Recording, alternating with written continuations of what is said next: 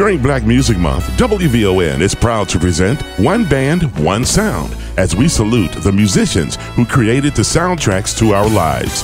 One Band, One Sound is powered by ComEd, Toyota on Western, and the Chicago White Sox. Now, here's the godfather of Chicago's music scene, Mr. George Daniels.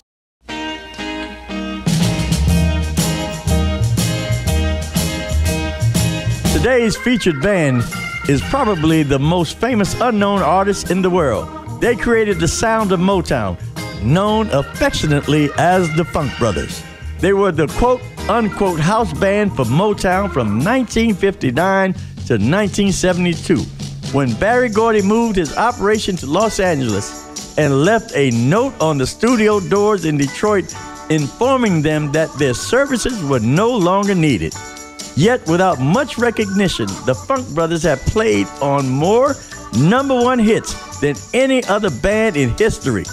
They gave the Temptations, the Supremes, Marvin Gaye, the Miracles, the Marvelettes, Martha and the Vandellas, and other Motown stars the music that made them famous.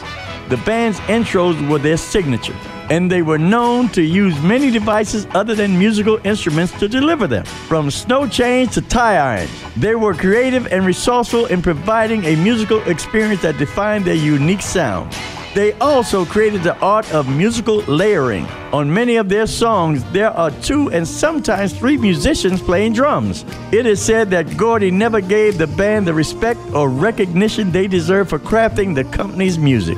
In fact, Many of the band members would moonlight with other labels to supplement their Motown salaries.